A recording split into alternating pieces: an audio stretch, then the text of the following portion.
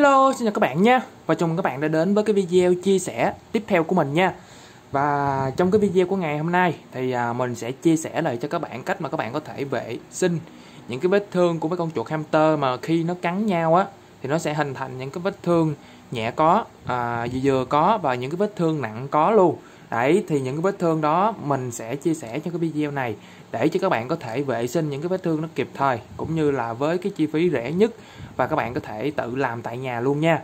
Đấy thì à, cái việc mà vệ sinh vết thương này á, là mình đã có làm riêng một cái video rồi. À, nhưng mà mình thấy cũng có khá là nhiều bạn chưa có hiểu rõ thì à, trong video của ngày hôm nay sẵn tiện là mình có cái con chuột à, trà sữa đực này nè. Đó cái con này là hôm trước nó bị con chuột trà sữa cái nó cắn uh, ngay cái chỗ mà mí mắt luôn các bạn. Đó rất là nguy hiểm luôn nhé một tí nữa là con này nó bị mù nha các bạn. Mình có đăng một cái video mà chụp một cái ảnh và đăng ở trên cái trang đất thú cưng của mình á. Thì à, được à, khá là nhiều bạn quan tâm. Cho nên là hôm nay mình sẽ chia sẻ lại cho các bạn cách mà các bạn có thể vệ sinh cái à, vết thương à, cho mấy con chuột này nha. À, ngay cả vết thương nặng luôn nha các bạn. Như ví dụ như con này nó bị là làm mũ luôn nha. Vết thương nó bị làm mũ luôn. À, và mình sẽ chia sẻ cho các bạn việc mà vệ sinh vết thương như mình chia sẻ trong video này á thì nó sẽ không có theo là công thức gì hết. Mà theo những cái kinh nghiệm mình đã vệ sinh rất là nhiều cái vết thương cho những con chuột uh, trước kia.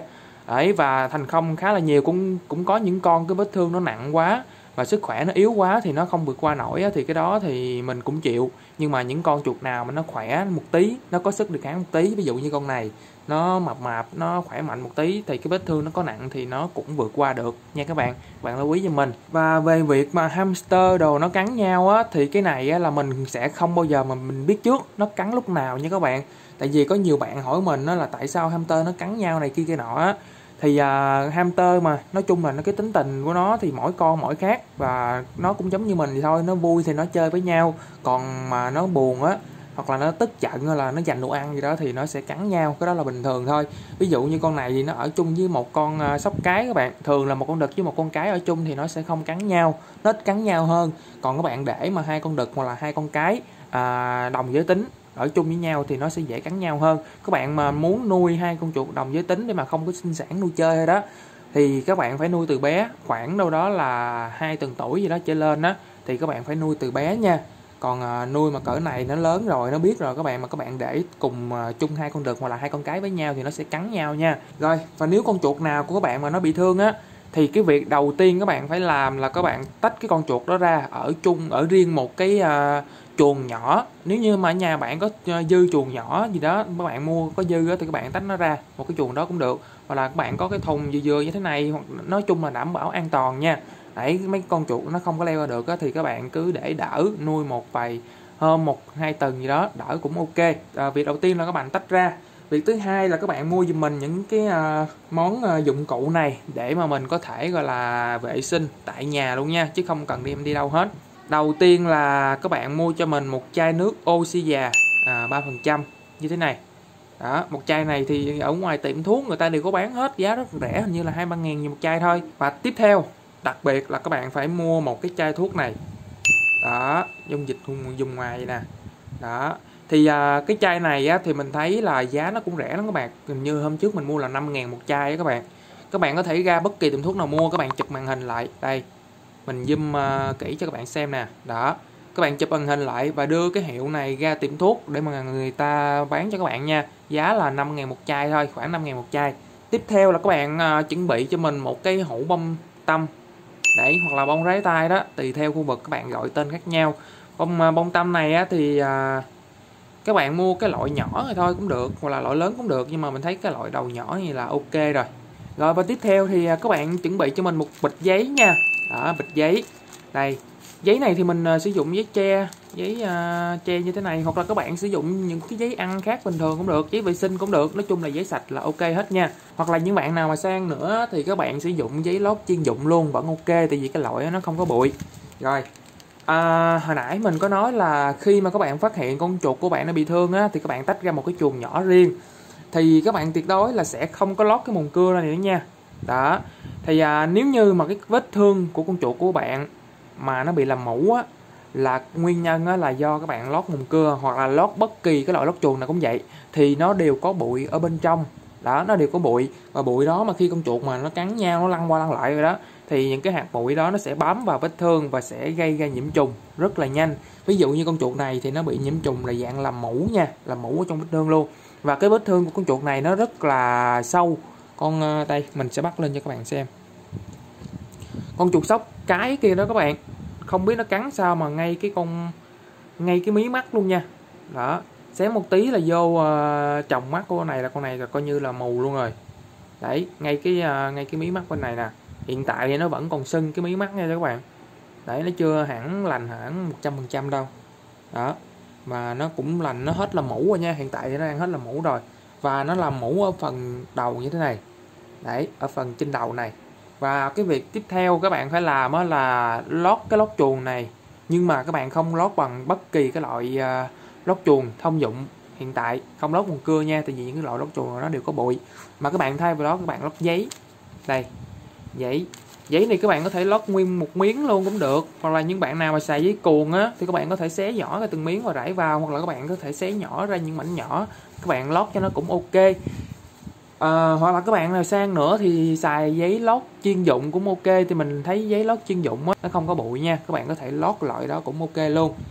Thì à, sở dĩ mình lót cái loại giấy này thì nó không có bụi các bạn. Không có bụi thì dẫn đến là vết thương của con chuột của các bạn nó sẽ gọi là sạch sẽ hơn và nó sẽ không có bị nhiễm trùng và thuận tiện hơn trong cái việc mà mình điều trị vết thương của con chuột về sau này nha.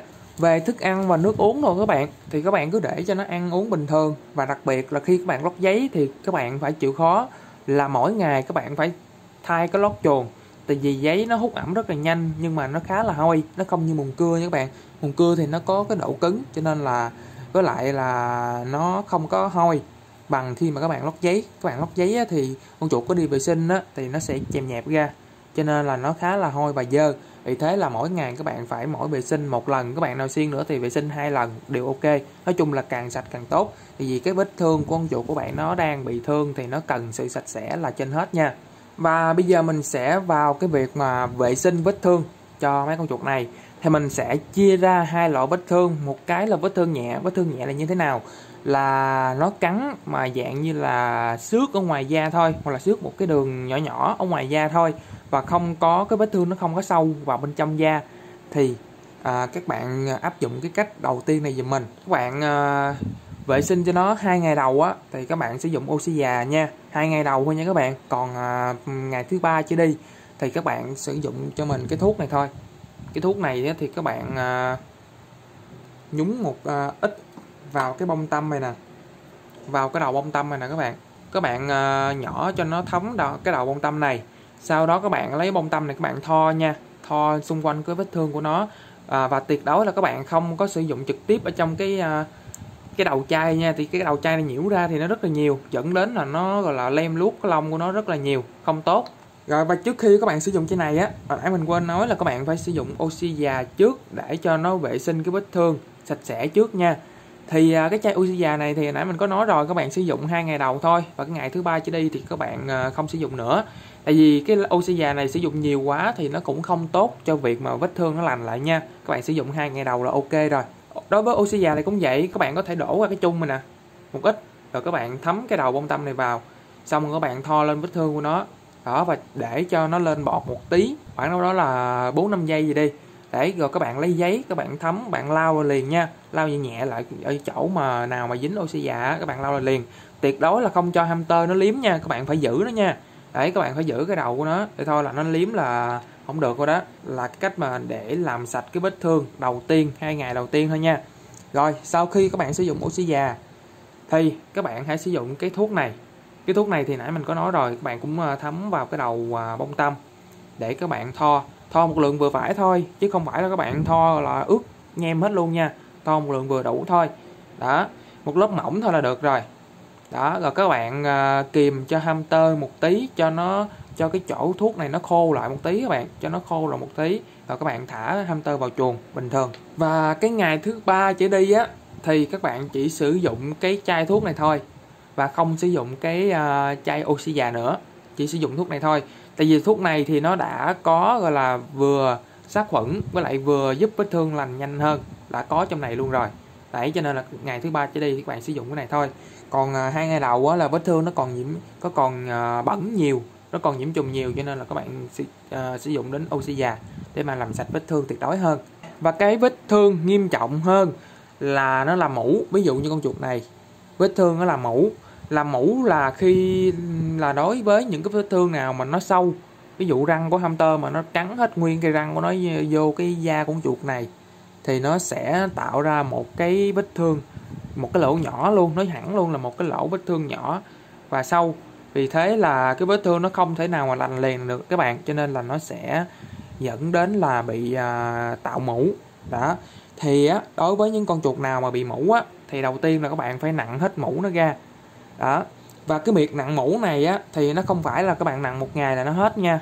Và qua ngày sau hoặc là hai ba ngày nữa hoặc là một tuần nữa thì mũ nó vẫn làm nó vẫn là mũ. Nhưng mà nó sẽ giảm dần giảm dần. Vì thế là các bạn phải canh á nếu như mà ví dụ như con này nè ví dụ như con chuột này á thì à, cái vết thương nó làm mũ khá là nhiều. Cho nên là mỗi ngày mình sẽ nặng mũ cho nó khoảng hai lần buổi sáng và buổi tối. Đó. Và mỗi lần mình nặng mũ xong thì mình đều sử dụng oxy già này lại. Đấy, đối với oxy già này thì, đối với con chuột này thì mình sử dụng oxy già này 3 ngày đầu thôi. Đấy, và còn những ngày sau sau khi mà mình nặng mũ xong á, thì mình sẽ sử dụng cái thuốc này để mà tho vào cái vết thương của nó. Đó, và mình cứ lặp đi lặp lại cái quá trình đó khoảng đâu đó là hai tuần các bạn. Khoảng 2 tuần nha, thì vết thương nó mới lành lại lại như thế này. Đó, các bạn lưu ý phải là nặng hết mũ nha, tại vì mũ thì nó, nếu như mà nó động mũ à, vào vết thương của chuột hamster của bạn á, thì cái vết thương nó sẽ không bao giờ lành. Và các bạn phải giúp con hamster của bạn nó nặng mũ ra nặng, nặng những cái máu dơ ra luôn. Đấy vết thương mà nó nặng quá thì nó sẽ có những cái máu dơ các bạn nặng ra hết. Đó. Thuốc này thì các bạn cứ sử dụng đến khi nào mà cái vết thương của hamster của bạn nó lành lại các bạn cảm thấy là lành lại thì các bạn ngưng. Đó vậy thôi. À, và các bạn nhớ là phải sử dụng thấm những cái dung dịch đó vào bông tâm mà các bạn mới tho vào vết thương của hamster các bạn nha chứ các bạn không sử dụng trực tiếp nha. Sử dụng trực tiếp thì uh, nó sẽ lem ra tùm lum hết. Rất là dơ. Và đó là cái cách mà các bạn có thể vệ sinh vết thương cho những con chuột của các bạn tại nhà và tiết kiệm chi phí nhất. Thì uh, cái cách này mình thấy cũng khá là ok khá là hiệu quả luôn á. Mình uh, sử dụng cái cách này cho rất là nhiều con chuột rồi. Đấy. À, mấy video hôm trước thì mình đều sử dụng cách này hết. Nhưng mà hôm nay thì mình muốn làm một cái video này lại cho nó đầy đủ hơn. Đó.